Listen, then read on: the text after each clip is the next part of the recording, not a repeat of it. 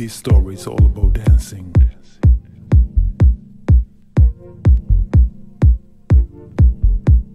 The first time in my life that I was caught with the dancing virus, I must have been something like 14.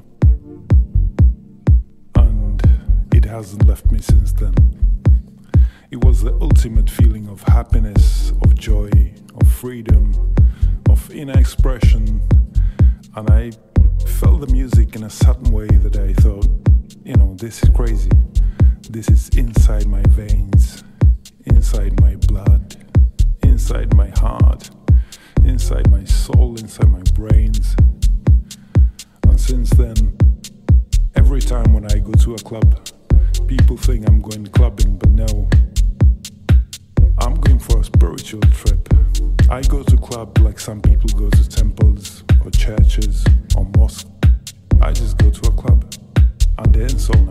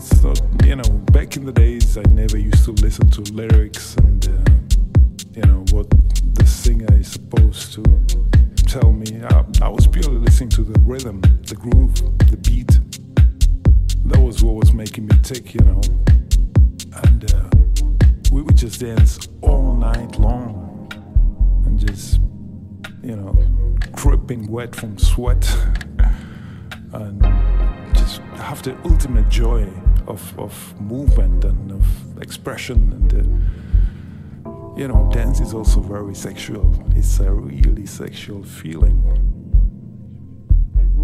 You know when you get that feeling get the sexual healing well that is exactly what it's all about. It's a deep experience or expression of oneself. You know you sort of lay your soul down on the floor. That's all you do and um, nowadays you see plenty of kids coming out and you know doing like things they see on MTV or in music videos and all that.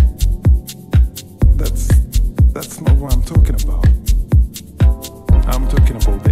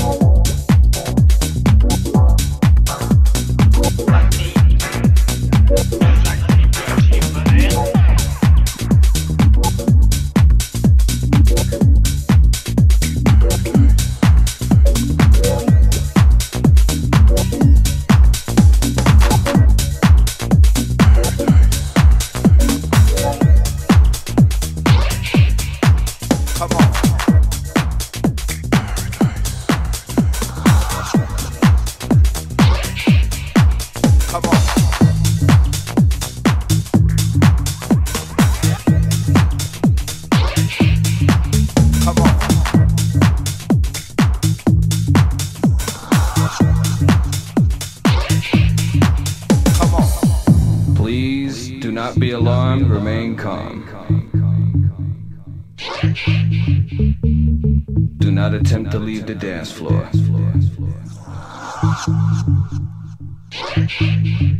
Come on.